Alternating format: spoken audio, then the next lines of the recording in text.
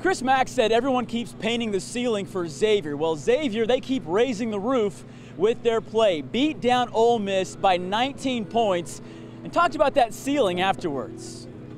I think we have a very high ceiling. I think we, we do good with runs. So, you know, when we can get some, some wins rolling and stuff like that, you know, we got to take it one game at a time. But, you know, I really don't think there's a ceiling at all. You know, I felt like, uh, you know, it just seemed like anybody that was playing us was going to roll over us, whether it was BYU, whether it was Ole Miss.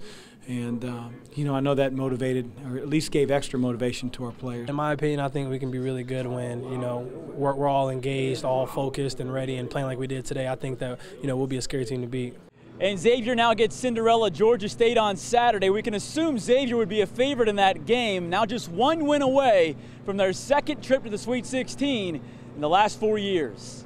In Jacksonville, Jeremy Rauch, Fox 19 now.